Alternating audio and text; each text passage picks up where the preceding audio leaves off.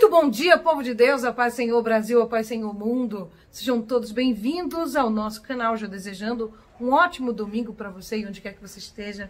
Que Deus te abençoe, te proteja, te guarde, te livre do mal. Mais um dia se inicia e vamos iniciar esse dia como nós fazemos sempre, orando, falando com nosso Deus. Pai, nós te adoramos, te bendizemos, exaltamos e glorificado seja o teu nome no céu e na terra. Nós te agradecemos, Deus, por tudo que o Senhor tem feito em nossas vidas. Muito obrigado, porque até aqui o Senhor tem sido conosco, o Senhor tem nos ajudado. Obrigado pelos livramentos, pelo pão de cada dia, pelo ar que respiramos. Pela tua presença, Espírito Santo de Deus. Porque mesmo sendo falhos e pecadores, o Senhor nos ama.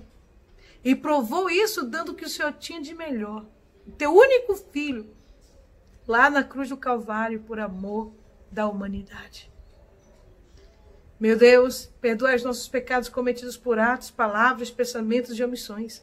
Assim como nós também perdoamos aquele que nos tem ofendido. E não nos deixeis, Senhor, cair em tentação, mas livrai-nos do mal.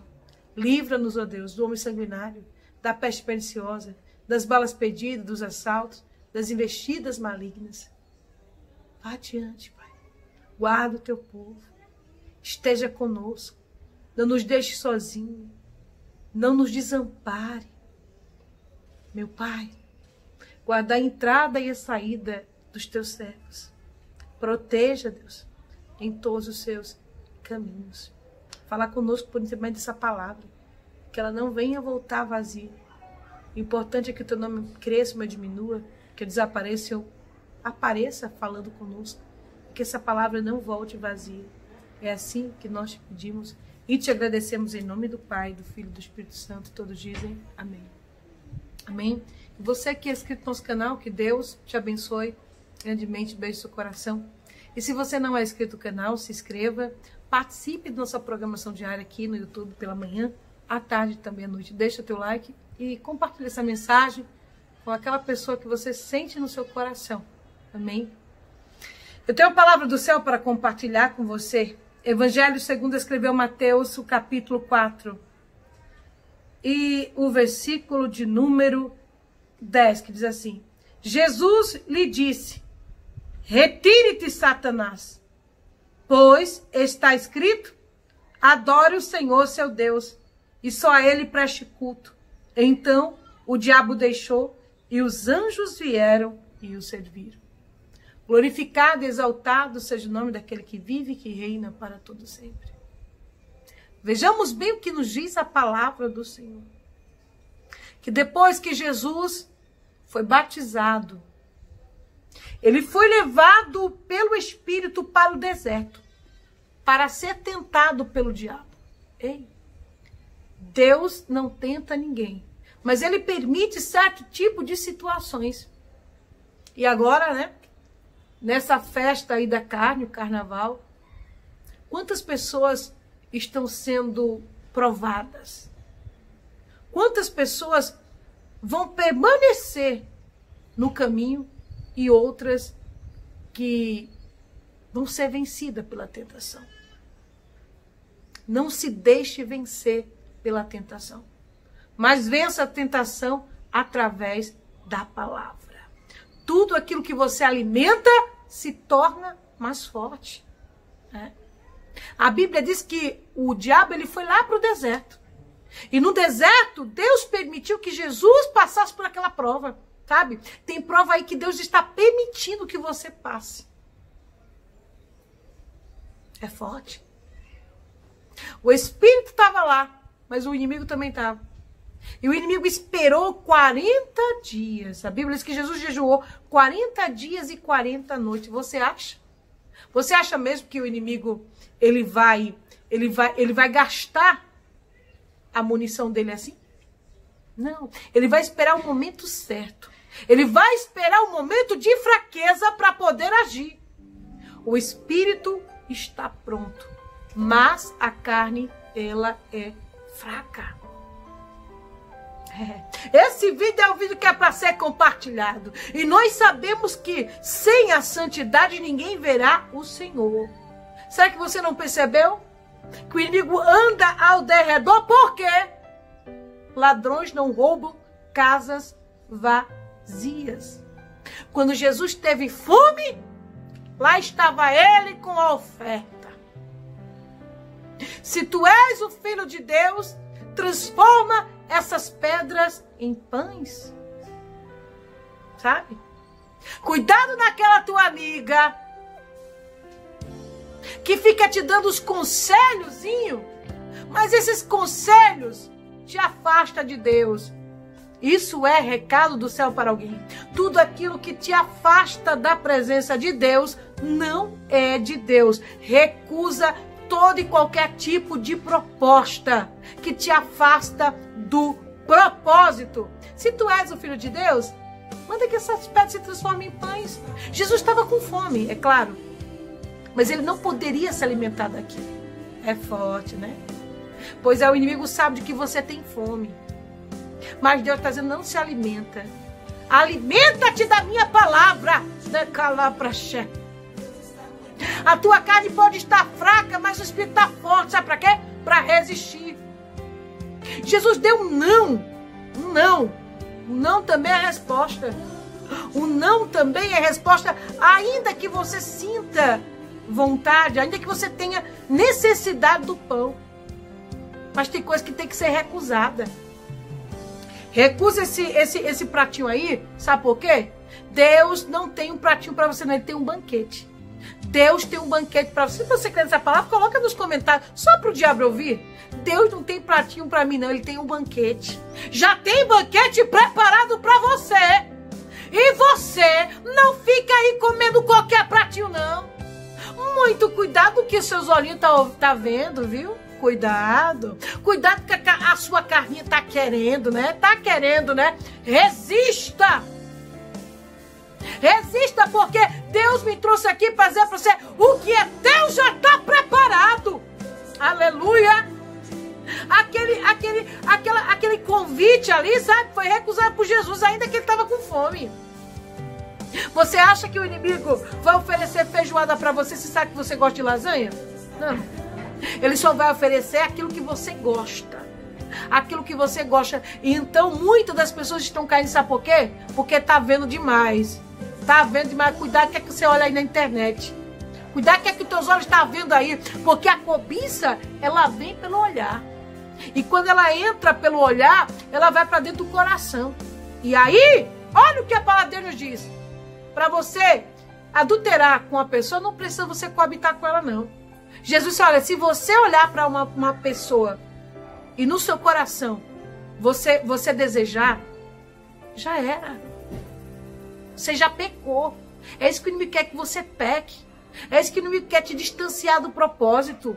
Jesus recusou, recusou aquele prato. E a Bíblia diz que o inimigo não desistiu. Então, Jesus disse para ele: Olha, nem só de pão viverá o homem, mas de toda palavra que procede da boca de Deus. Tem vaso que quer ficar forte, mas não se alimenta da palavra. Ah, eu caí. Caiu, né? Você caiu e a palavra? Cadê a palavra? A palavra está no seu coração? Quando você tem a palavra de Deus no seu coração, ninguém te engana. Diabo nenhum te engana. Jesus não foi enganado pelo diabo. Sabe por quê? Porque ele tinha a palavra dele no coração. Guarda essa palavra no teu coração. Pratique a palavra. A palavra de Deus é, é, é, é, é o teu escudo de proteção. É, o Senhor disse: Meu povo perece por falta de conhecimento. Por falta de conhecimento na palavra, tem muitas pessoas aceitando migalhas de Satanás, aceitando pratinhos. Ei, sabe por que o inimigo está colocando esse pratinho aí porque já sabe. Porque já sabe que a ordem do céu é para é fazer o anjo descer com banquete. É para fazer o anjo descer com a bandeja, querido.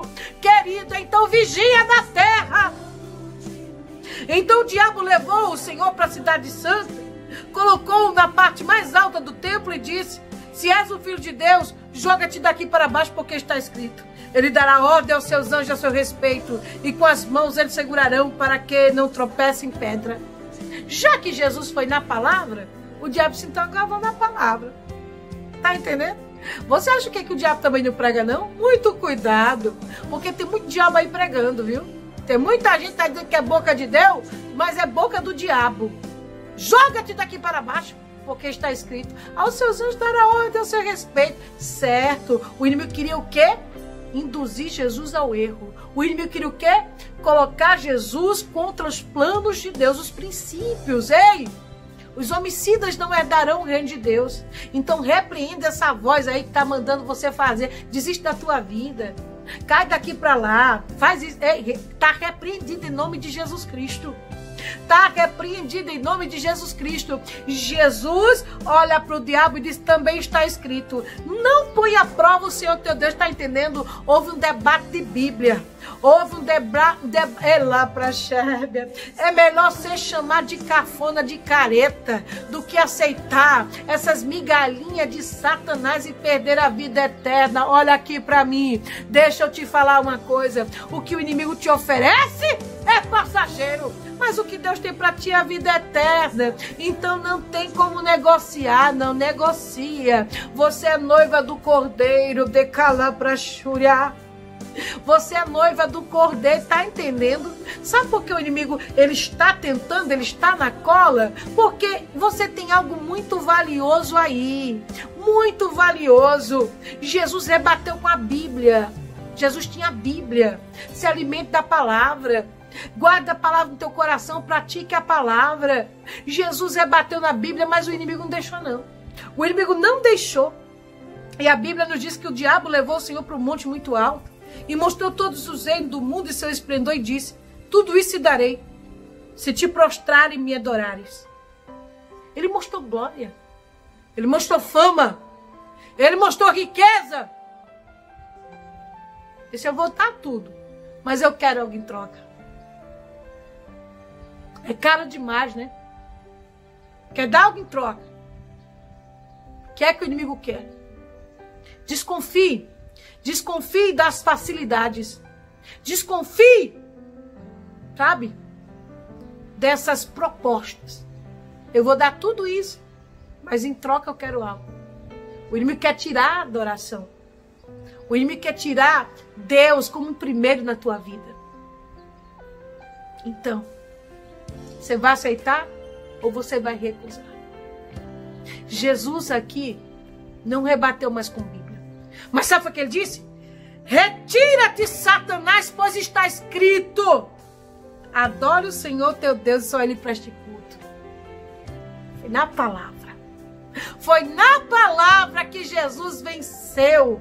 E você vai vencer pelo poder da palavra. E eu quero declarar em nome de Jesus Cristo: todo mal caindo por terra hoje, resista ao diabo e ele vai fugir. O inimigo ele se levantou, o inimigo decalar para chutar na cola, mas vai cair por terra pelo poder da palavra. É pelo poder da palavra. Ei, não desista de adorar, não desista de pregar, não desista de servir a Deus com interesse de coração. Deus não quer você pela metade. Deus não quer o teu coração pela metade. Deus não quer você em cima do muro. Deus te quer completamente. E o inimigo sabe. O inimigo sabe da obra que Deus tem na tua vida. E Deus me trouxe aqui para dizer para você, meu filho, minha filha, eu sei que você está numa luta terrível, tremenda neste lugar, mas resista, porque o inimigo vai cair por terra, o inimigo vai fugir, ele não vai resistir, ele vai recuar. A Bíblia nos diz que Jesus repreendeu aquele demônio e disse: Não, retire-te daqui, Satanás. Então o diabo deixou e os seus anjos vieram e o serviram. Quando o diabo sai, os anjos descem. Deus me trouxe aqui dizer para você: Ei, eu sei o que você está passando aí, eu sei o que você tem vivido neste lugar e já dei ordem aos meus anjos para descer com a bandeja aí neste deserto. Vai ter festa nesse deserto, vai ter como vai ter culto de graça nesse deserto, vai. Faça a tua parte, porque o Senhor vai fazer a parte dele. O mal não pode roubar aquilo que Deus que Deus já determinou para ser seu. Tá entendendo? Então resista a esse pratinho, recusa a proposta, não fica com o olho grande.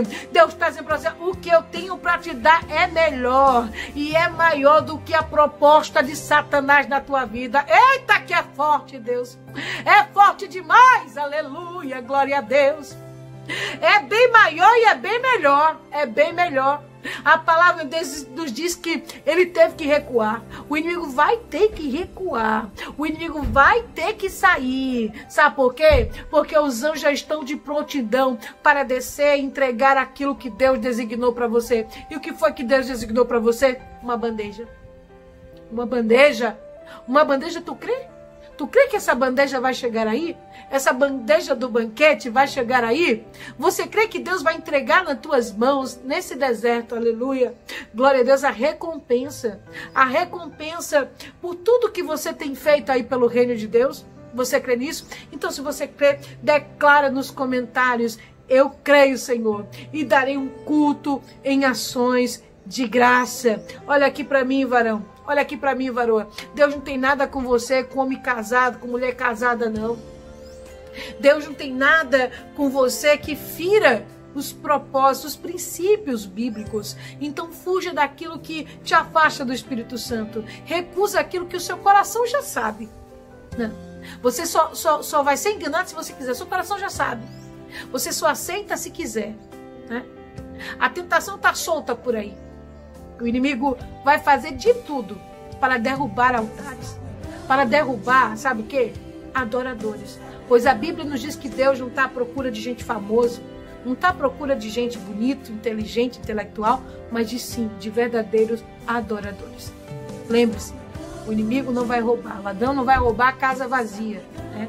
O inimigo quer roubar a adoração, a tua essência. Então não negocie. Diga não, eu não vou trocar o meu passaporte, as minhas vestes de noiva por um momento. O carnaval vai passar. E o diabo quer que você use máscara, dizendo que você é uma coisa sem ser. E Deus me trouxe aqui fazer para você. Meu filho, minha filha, não aceite. Diga não. Porque eu vou te recompensar aí neste deserto. Deixa eu orar por você. Vamos orar pelos homens e mulheres de Deus. Vamos orar por aqueles que estão passando agora por um momento difícil de provação. Deus, querido Deus amado, aqui nós queremos apresentar, meu Pai, cada pessoa, cada pedido de oração. Ah, meu Deus, a tentação tem sido grande, Pai. E nesse período é onde o inimigo mais vai usar pratinhos para seduzir, Senhor, para seduzir pessoas vai usar, meu Pai. E aqui nós queremos apresentar esse casamento, essa pessoa que está fraca na fé, essa pessoa, meu Deus, que está vendo que não deveria ver, aceitando o propósito que não deveria aceitar. Ah, Deus, somos falhos e pecadores. E aqui, Deus, nós queremos pedir ao Senhor que fortaleça cada um do teu povo, para que eles venham rejeitar, para que eles venham se desviar, meu Pai, daquilo que nos faz nos desviar da tua presença. Tira tudo aquilo, Deus, tudo aquilo que não é de ti, que Satanás venha bater em retirada. E que o anjo desça com a bandeja, com a bandeja, Deus, e venha abençoar o teu povo. E venha honrar o teu povo neste deserto. Livre o teu povo de todo acidente, livre o teu povo de todo arrumadinho, de todo laço, Senhor. E não permita, Pai, que eles prestem culto para o inimigo. Não permita, Deus, que os teus servos se desviem da verdade, nem ande pelos caminhos tortuosos. E quem chegou aqui, Senhor, e precisava ouvir essa palavra, eu peço ao Espírito Santo de Deus que venha convencer essa pessoa. Venha convencer essa pessoa a tirar o pé, meu Deus, do lugar onde se faz se sentir, se sentir suja, assim. Que ela venha, Senhor, se desviar daquilo que não vem de ti. Tira do caminho dela, Senhor, toda amizade, influência maligna, Senhor. Tira do caminho dela, Deus, tudo aquilo, Deus, que vem para te afastar a tua presença.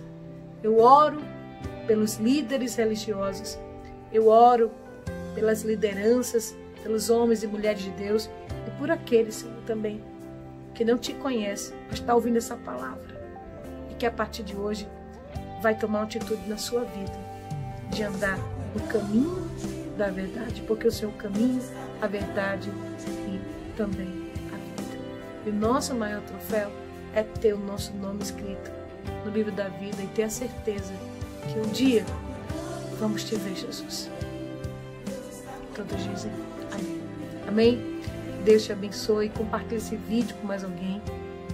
Existem as propostas do inimigo, porque o que Deus tem para você é maior e bem melhor que esse pratinho do adversário. O inimigo te oferece um prato. Deus está dizendo: resiste, porque o anjo está descendo com a bandeja. Pense o coração. Deus te abençoe.